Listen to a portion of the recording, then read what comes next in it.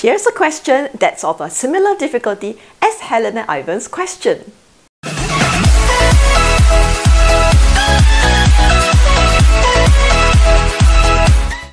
The figure is formed by five identical semicircles. Part A. What is the diameter of each semicircle? Part B. Use the calculator value of pi to find the perimeter of the figure.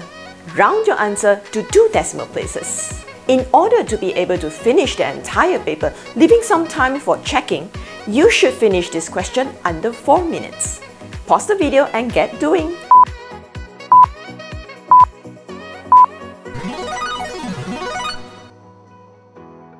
This question tests the student's ability to visualize and think flexibly before applying the concepts of circles.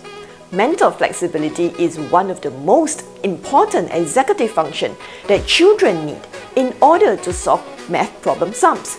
And that is why at ILLAC, we focus on the training of mental flexibility alongside the training of math heuristics, so children can solve problem sums easily. With a good mental flexibility, students will be able to see that the length of 22 cm is the same as the length where the purple arrow is.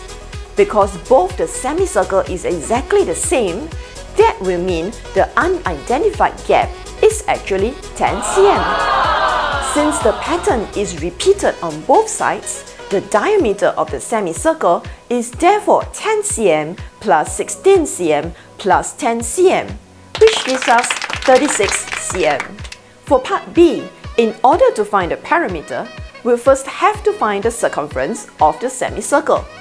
Because the question says to use the calculator value of pi, simply press the calculator for pi, multiplied by the diameter times 5 times of it, plus 22 cm, 12 cm, 16 cm, 12 cm, and 22 cm to get the final answer of 366.74 centimeters, rounded off to the nearest two decimal place. If Helen and Ivan's question is a 5 on the flip table index, this question will receive the same score.